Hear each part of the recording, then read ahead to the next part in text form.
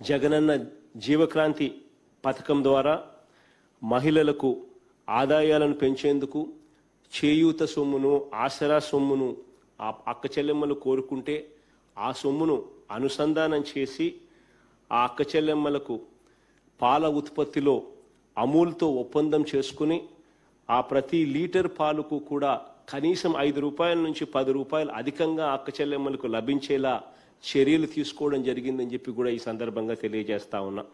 దాదాపుగా ఆవులు కావాలని గేదెలు కావాలని దాదాపుగా లక్ష పన్నెండు వేల మంది అక్క చెల్లెమ్మలు అడిగితే వాళ్ళందరికీ కూడా ఆవులు గేదెలు కూడా కొనిచ్చే కార్యక్రమానికి కూడా జరుగుతూ ఉంది అని చెప్పి సందర్భంగా తెలియజేస్తా ఉన్నాను.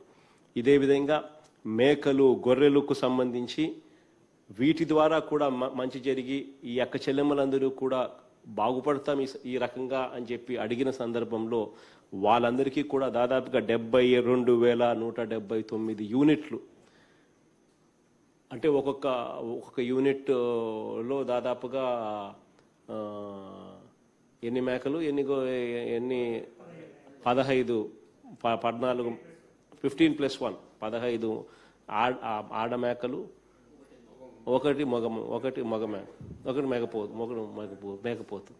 సో అది దాదాపుగా డెబ్బై రెండు వేల నూట డెబ్బై తొమ్మిది యూనిట్లను కూడా కావాలని అడిగితే వాటికి కూడా ఈ చేయూత ఆసరా సొమ్మును ఎవరైతే కావాలని ఎవరైతే అడిగారో ఆ చేయూత ద్వారా వాళ్ళను కనెక్ట్ చేసి వాళ్ళకు కూడా మంచి జరిగించే కార్యక్రమంలో భాగంగా వాళ్ళకు కూడా వాళ్ళ కాళ్ళ మీద వాళ్ళు నిలబడేట్టుగా చర్యలు తీసుకోవడం జరిగింది.